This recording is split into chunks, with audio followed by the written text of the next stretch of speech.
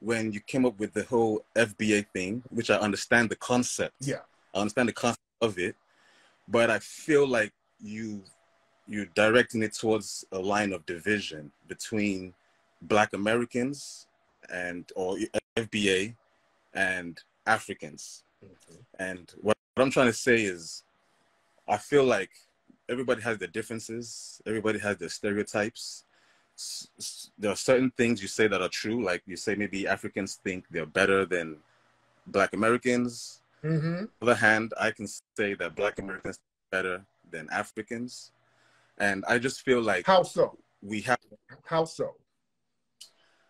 Well, you know, you've you've made certain comments, uh, especially one that just got me laughing and kind of pissed me off at the same time was those four police officers in Memphis that beat up the dude Tyree Nicholson mm-hmm. or something, mm-hmm. and how you said that they they were they were giving you um, non FBA vibes and all that. You know, I thought you were trolling, but at the same time, I was like, dude is just kind of reaching, and you know, it's funny, but it's funny, but it's not really funny, you know. Mm-hmm. And I just feel like you have um, a, a strong platform where you could do better by bridging gaps um, as opposed to dividing.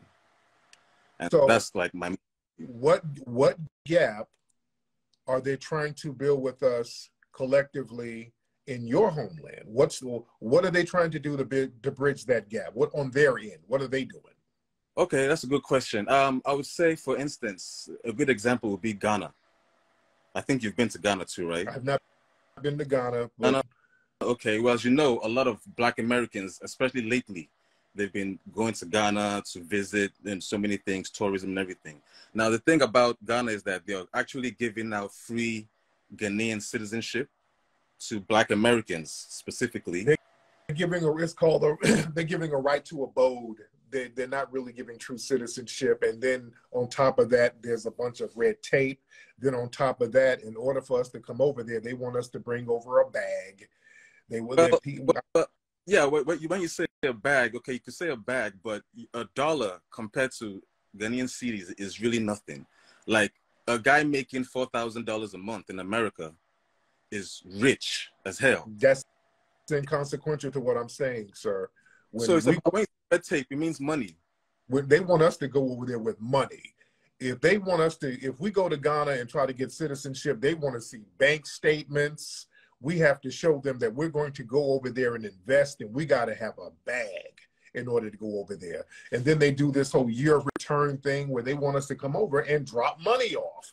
So that's not really a come up for us. That's them like, hey, come on. It's, a, it's a starting point. At least you can say that it's, it is a starting point. We got to start somewhere, right? Damn. It's a it's a, a one-sided starting point, and also there's black people, and there's been cases of black people going over there to Ghana, foundational Black Americans getting killed for their land and robbed, and then they start jacking the prices up specifically for foundational black americans. So it's a lot of real janky shit going on over there towards all right so so that part when you talk about raising up prices that is true but it's not only for black for fba even me i'm nigerian. When i go back home they know that i came from america because of the way i talk my my my my behavior so that if i if i'm not with my homeboy or my family member they'll try to raise the price up on me as well. It's, it's just a natural hustling thing. It, it really has nothing to do. Doing that to the white people and the Asians, though. I've seen them give white people shit for free over there. When white people come over there, they bow down to them. They start nah, that's, that's, and they start up to them. And when rappers go over there, Meek Mill had to they was t- took his phone, and the baby was getting extorted at the airport. Uh, people got hard. I mean, let's keep it a bug. No, no, that's the when you when you say to the white people, trust me, especially when I'm, where I'm from in Nigeria. Nigeria is like one of the roughest countries, especially on the on the west side of Af- on the west coast of Africa, mm-hmm. right? Mm-hmm. Nigerians, they still they still kidnap white people and hold them up for ransom. Like that's what they do over there. You know what I'm saying? So we don't we we with Africans, right? What we respect at the end of the day, above everything else, we respect money because we believe that money is like what would really get you out of poverty, out of slavery, out of everything. Like nobody respects you if you don't have money because money talks, right? Anybody can talk, but if your money, if you have money, then you really can make things happen for yourself and for your people. So um, we don't really respect the white man as the way you you say it is. That's not true, brother. Not on an individual level. The government, the government or y'all, some of some of them, man. When, dude, there's a reason why people over there putting cake soap all on their faces. Dude, they love white people and they want to identify no. with whiteness. They got that got a big statue of white Jesus in Nigeria, dude. Stop, white brother. Don't don't don't do that. That has nothing to do with white people. That's that's men. That's men that think that light skin is is is, is beauty, more beautiful than dark skin.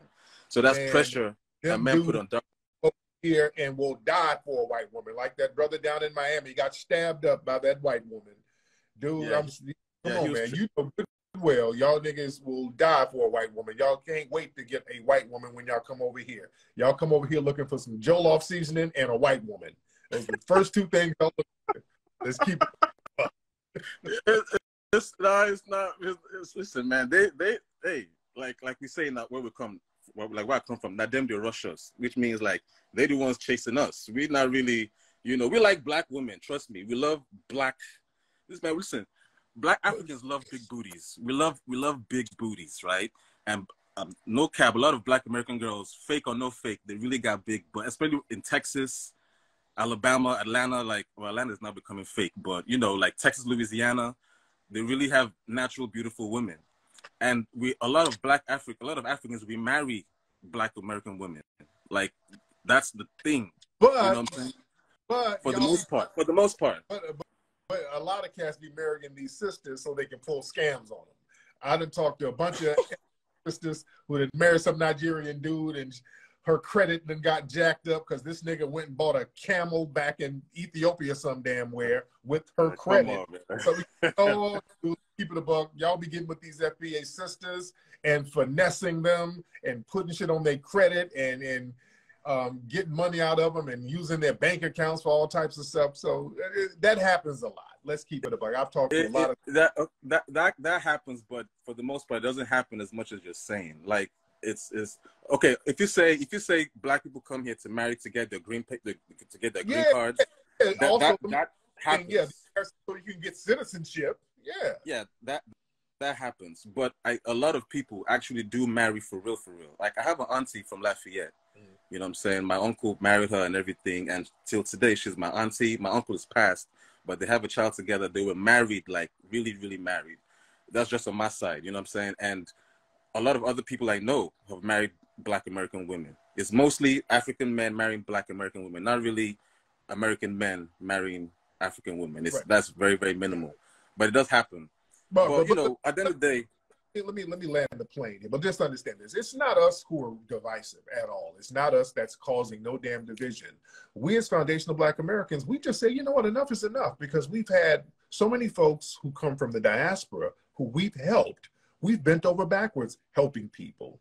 And for people to come over here and have this holier than thou attitude towards us and this narrative where my parents told me to stay away from these akatas and all of that stuff, we say, you know what, enough is enough. We're not going to have that. We're going to check everybody's paperwork. If they come around us and try to get in discussions about certain entities that affect us as a group, we want to know who's chiming in and why they're chiming in. So if somebody's talking against reparations, for example, we need to see their paperwork. And if we see that they're not even from here, that's something that we're going to have to dilly up on the on the the, the chalkboard and say, hey, look, y'all need to check this stuff, or we're going to have to check it. So that's where we are with it. So the the, the divisive started with a lot of these non-FBA people who wanted to come over and and capitalize off of us and capitalize off of our struggle and have us fight for them and have them share the wins that we fight for. But when they get a win, we're not supposed to share the win. And that's another major problem. When a lot of people from, from Africa and the Caribbean, if they do something constructive, if they get a win, they go out of their way to make sure that we don't share that. It becomes, I'm Nigerian American who just got a PhD. I'm Jamaican American who just got a doctorate. It becomes that type of thing. But if a motherfucker wants to commit a crime, we all black. If you beat up somebody and you're a police officer, we all black. Come on now, let's not be divisive. No, we're not going to be together in in in, in degrading circumstances. We're going to have to have the same energy all across the board. You see what I'm saying? That makes Yeah. sense. I, that, it makes sense. I, I, I totally agree that uh, from both sides we can agree. We, we have a lot more in common than apart. Right. And if we can just And, build on that, you're going to have to you guys are going to have to check your tether classes the ones who come over and do try to denigrate us because we've been warning people for years. Y'all need to really check these tethers who's coming around talking greasy. Y'all got to do something about those guys. And a lot of times y'all are silent about the acons when they're talking this greasy nonsense and all of the, the candace owens who identifies as non-fba y'all set up and let these people talk real greasy and you didn't do anything or say about them. So now we're going to have to do something about it and say something about it. And now it ain't pretty. So sometimes checking people and getting some straightening, it ain't going to be pretty all the time. That's why you have to check your own group like we do. right? When we have, because we have coons, but we let you know that we got, hey, this person, Jesse Lee Peterson, you're going to see this guy. He's going to say something stupid, but he's a coon, so don't worry about it. We check the coons before they get out here and embarrass all of us. Y'all have a bad thing about not checking the coon class within um, your society and let them get away with all that Akata shit. That's done. We are not letting that happen no more. So as long as we get that understanding, we're all good and we all cool in the game. You feel me? I feel you, man. It's all good, man. It's, it's all good. It's all good. I appreciate you, man. Thank you so much, brother. Let me get All right. Peace. Go. There you go. Just getting some straightening. Yeah. Ain't nothing straight but some straightening. That's all it is. Yeah. And they know this. See, that's the thing. Deep down, a lot of y'all, when y'all see the tether class talking greasy and trying to undermine us, they they they low key like that shit. Y'all better y'all check y'all folks, man. All of that stuff where we're uh, all these different names of beads and akatas and no no no no that that ain't that ain't happening no.